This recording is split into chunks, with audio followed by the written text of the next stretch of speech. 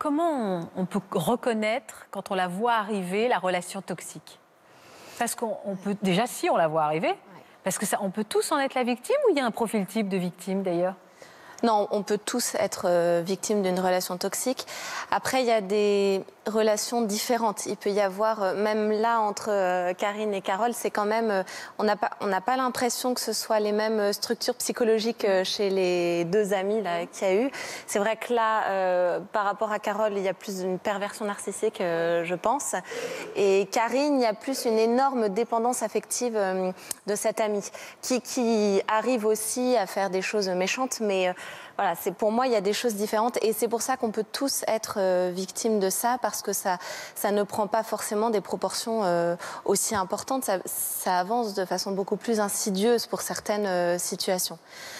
Donc comment on remarque, euh, alors la majorité du temps, on ne s'en rend pas compte. hein, c'est ce qu'on voit, ça prend plusieurs années là, en l'occurrence pour les, ces deux relations.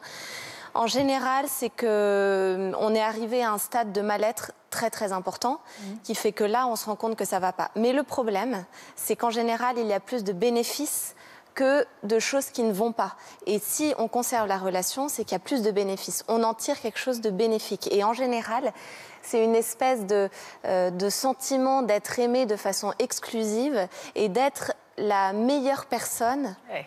pour cet ami. Et en fait, on a tous C'est soif. flatteur. Exactement, ouais. Ça nous met en valeur, c'est flatteur. On est si importante, on est la solution de tout. Exactement.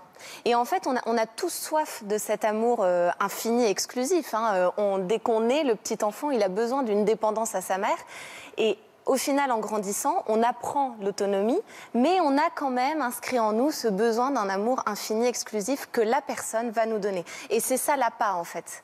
C'est ce que cette personne va nous, va nous donner. Et